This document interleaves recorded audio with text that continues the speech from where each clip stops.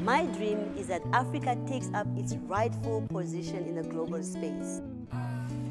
I believe that we must dismantle the narrative that Africa is not capable and move it to the belief and understanding that Africa can.